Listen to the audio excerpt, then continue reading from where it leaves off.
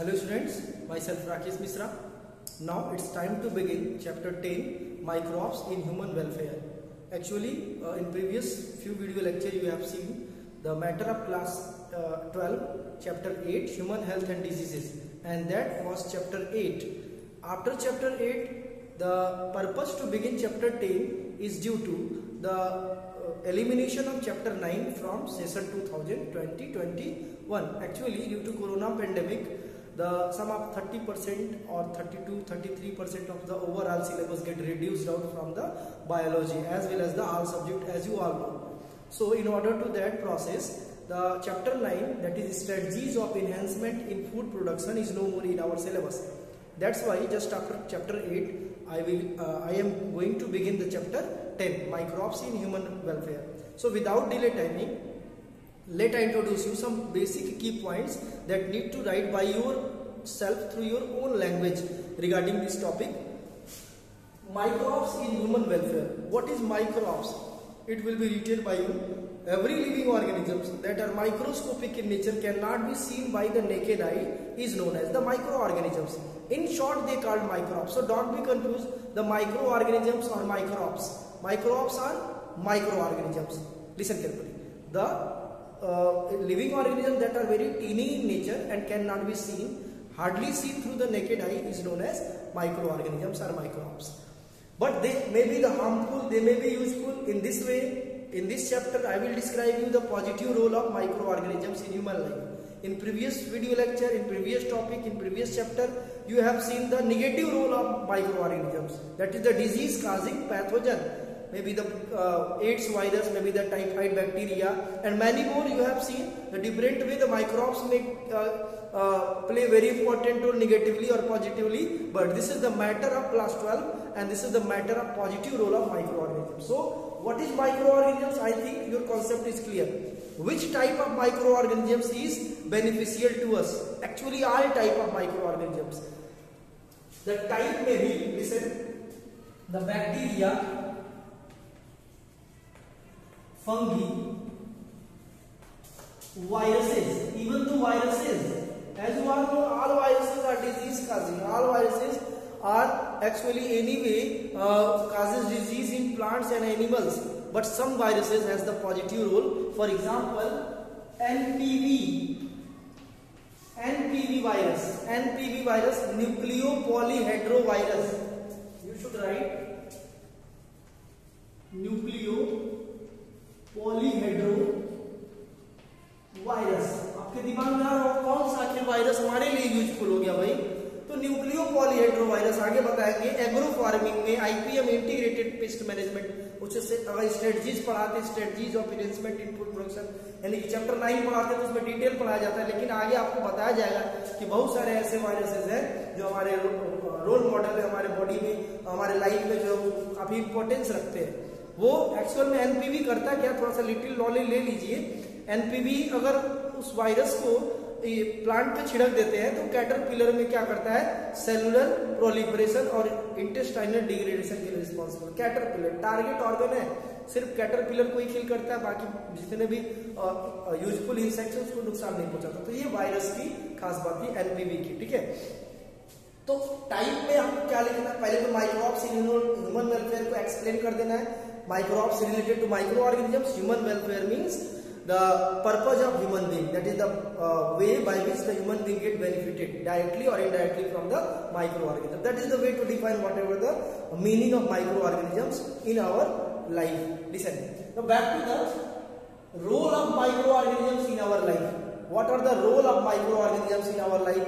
I have taken many headings regarding the lesson and summarized them in step-wise process by the point-wise process and one by one I will describe it. The first is in domestic uses that is known as household products that is in your syllabus. In your syllabus the heading of uh, domestic use of microorganisms as the household products. आपके syllabus में ये house hold product इस पर focus करेंगे। Meaning मैंने और easy कर दिया डोमेस्टिक पर्पज में घर में डेली के हमारे जो काम है डेली का जो कुकिंग फ़ूड आइटम है या डेली का हमारा जो ज़रूरत है, उसमें कहाँ कहाँ माइक्रो ऑर्गेनिजम्स हमारा पार्टिसिपेट करता है रोल प्ले करता है क्या क्या इंपॉर्टेंस देता है, इसको हम देखेंगे, इसको समझेंगे। पहला पॉइंट मैंने लिखा है यहाँ पे कर्ड कर्ड मीन्स दही, आप जानते होंगे।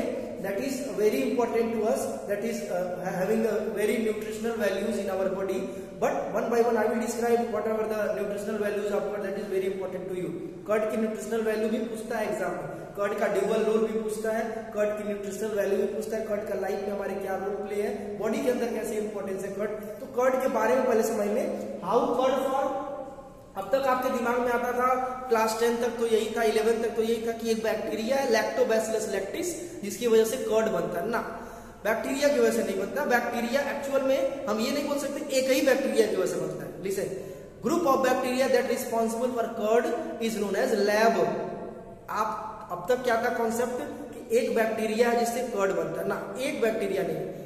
बहुत सारे बैक्टीरिया रिस्पॉन्सिबल है कर्ड बनाने के लिए। मिल्क टू कर्ड बहुत सारे बैक्टीरिया है, जिससे मिल्क टू कर्ड में कन्वर्ट होता है। और ग्रुप वो सारे बैक्टीरिया जिनसे कर्ड बनता है, उसको बोलते हैं लैक्टिक एसिड बैक्टीरिया शॉर्ट में लैब पूछता है एग्ज़ाम में आप देखोगे प्रीवियस ईयर क्वेश्चन पेपर अगर उठाएँगे तो इसमें व्हाट इज़ लैब या एक्सपेंड लैब करके आएगा। तो इसको आप लिख लीजिए कॉपी में।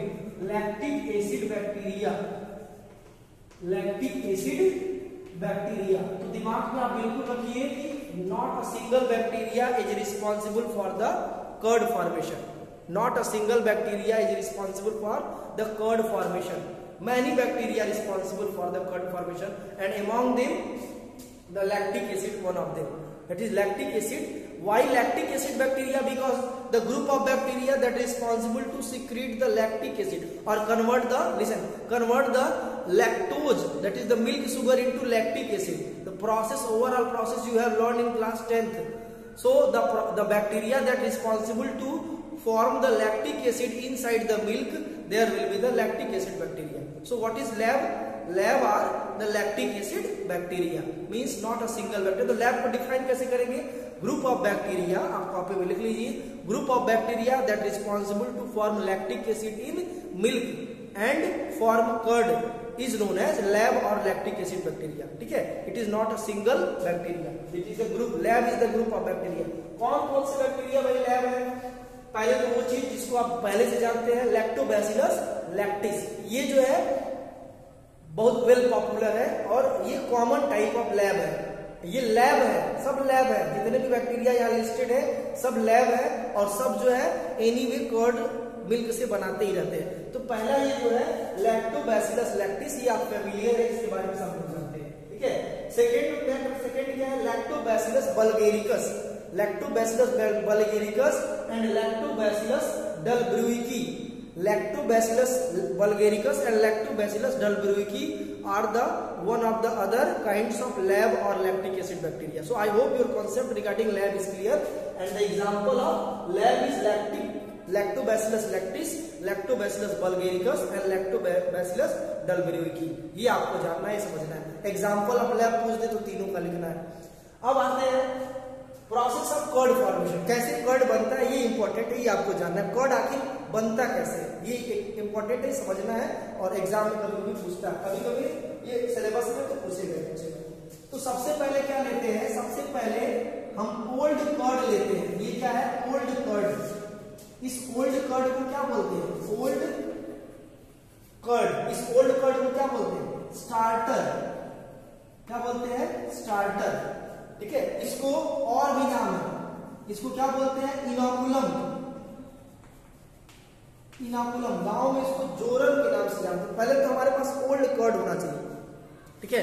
अब ओल्ड कर्ड की प्रॉपर्टी यानी इनाकुलम की प्रॉपर्टी ये एग्ज़ाम में पूछता है। What do you meet by starter old curd या इनाकुलम की प्रॉपर्टी क्या होती है? द ओल्ड कर्ड और inoculum consist millions of the LAB इसमें क्या होगा? It consist millions of the LAB millions of the LAB एक दो लैब नहीं होगी। इस लैब हमेशा कैपिटल में लिखेंगे। मिलियंस ऑफ़ द लैब बहुत सारे लैब होंगे। लैब का मतलब बहुत सारे लैक्टिक एसिड बैक्टीरिया होंगे, ठीक है? वन टाइप होगा या आठ टाइप हो सकता है। लेकिन लैक्टिक एसिड बैक्टीरिया मिल्क अगर कर्ड है तो कर्ड में ज़रूर होगी। अब ये इसको क्या करेंगे? इसको हम दूसरी एक पॉट में क्या करते हैं? दूसरे पॉट में हम मिल्क लेते हैं और उस मिल्क को क्या करते हैं? उस मिल्क को थोड़ा सा हीट कर देते हैं। कितने टेम्परेचर पे? 30 to 40 degree centigrade 30 to 40 degree centigrade पे इसको क्या कर देते हैं? हीट कर देते हैं। ठीक है? इसको कहते हैं पास्चुराइज मिल्क क्या बोलते हैं? पास्चुराइज मिल्क अब इस मिल्क को हीट करने के बाद 30 टू 40 पे रखते हैं, क्योंकि ज़्यादा हीट होगा तो कर्ड उसमें ग्रो नहीं कर पाएगा। अब इसको क्या करेंगे? इसको इस स्टार्टर को क्या कर देंगे?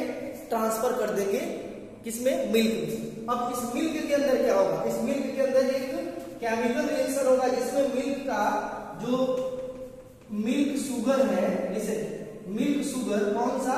लैक्टोज वो अपने आप को किसमें कन्वर्ट कर लेगा? लैक्टिक एसिड में so when the starter added from the source of starter to the milk then what happens the milk sugar lactose convert itself into the lactic acid और ये लैक्टिक एसिड क्या करेगा? फिर milk के protein को attack करेगा। That is attack over the milk protein milk protein milk protein क्या है? Casein and the casein after getting the effect of lactic acid get denatured the casein casein get denatured denatured means the different bonds inside the casein get break out so it convert either the dipeptide or tripeptide but it never remain polypeptide then what happens it further modify itself with the fat of uh, milk अब ये milk के fat के साथ अपने आप को modify कर लेगा तो कोलैप्सिंग शुरू होगा। That is collapsing due to collapsing due to modification with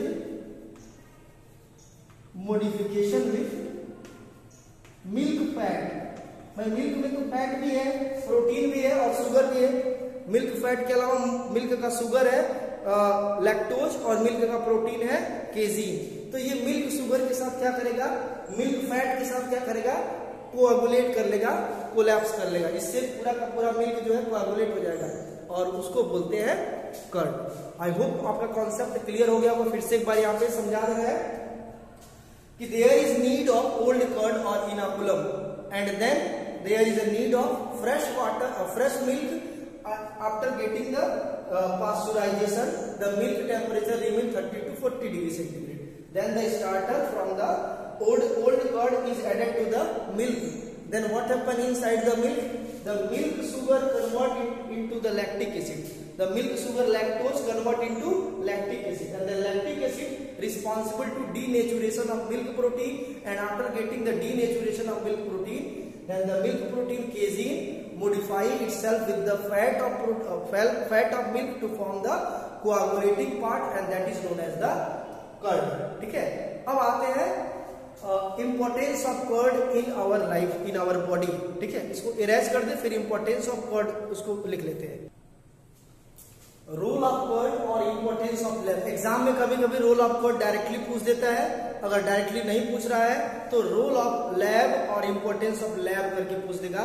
तो सेम वही सारी चीज़ें लिखते हैं। तो पहला तो ये न्यूट्रिशनल वैल्यूज़ इनहेंस करता है। इसका ड्यूअल रोल क्या है? Enhance enhance the nutritional values in our body values in our body किस फॉर्म में it enhance the content content of protein it enhance the content of vitamin b complex as well as it responsible to enhance some minerals like potassium calcium phosphorus magnesium etc listen carefully these are some essential nutrients uh, mineral and also it is responsible to enhance the vitamin c. Vitamin c that is responsible for the uh, immunity in our body. Not only it enhance the protein that is responsible for immunity. It is responsible to enhance the immunity. Not only it enhance the nutritional values in our body it also responsible to check the it also responsible to check the stomach pathogen.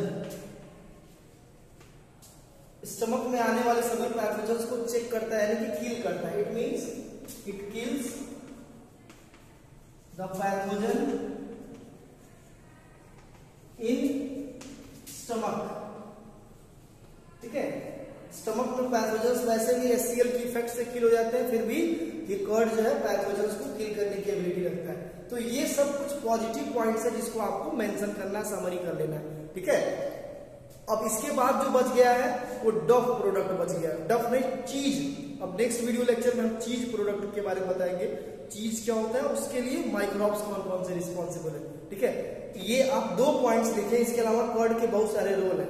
Easy to take easily available and it is digestible listen carefully, it is very digestible so curd is important than the milk it is your homework why curd is important for the uh, than the other than the milk milk source milk product में curd जो है काफ़ी important माना जाता है reason क्या है कि कर्ड में तमाम ये सारी चीज़ें मिलती हैं इम्यूनिटी बूस्टर भी है लेकिन मिल्क में इम्यूनिटी बूस्टिंग के कोई सबस्टेंसेस प्रोटीन के अलावा और कुछ नहीं मिलते हैं ठीक है that is the way to define the role play of lab and curd respectively. In next video lecture, I will describe you the next domestic product that is the cheese and dog product. Thank you.